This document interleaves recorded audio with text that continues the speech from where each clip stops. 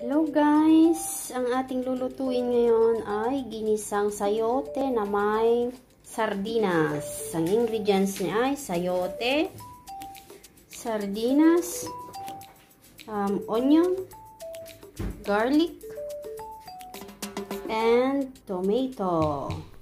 Okay, let's start. Ah, ah, tsaka olive oil. okay guys, let's start. Ayan, lalagyan natin ng olive oil. Tapos, lalagay natin ang garlic.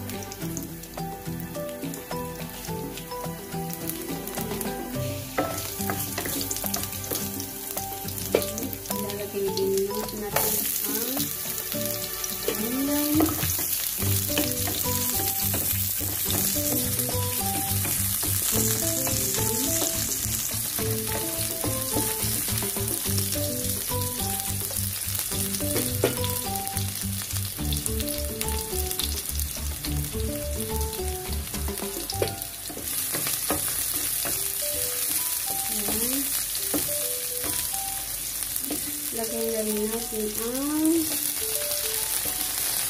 tomato. Ayan. Tapos, hayaan mo natin ganyan. Takpan natin para malutin muna natin ng konti yung tomato. Okay. Sayote.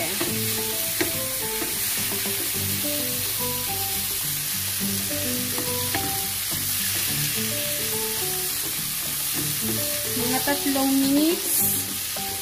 In 3 minutes. Yan. Pero natin ng kaunti lang sa baw para maluto. Kasi ang sayote ay nagtutubig na siya. May takas na siyang lumalabas kaya kaunti lang lalagyan natin at rin natin ng salt. Salt to taste. Parang dami saka black pepper. Pepper. Yan. Tsaka tatakpan. Ito guys, ilalagay na natin ang sardines.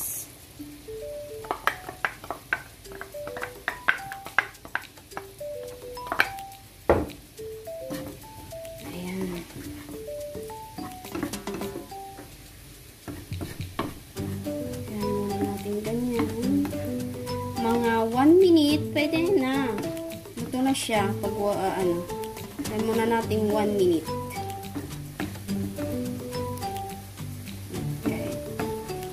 Okay guys, ating tatak guys. Luto na. Tikman natin kung okay ang lasa. Mmm. Buono. Masarap. Okay na guys, luto na ating ginisang sayoto na may sardinas. Yan. Guys, luto na ang ating ginisang sayote with sardinas. Bon appetit! Thank you for watching and don't forget to subscribe.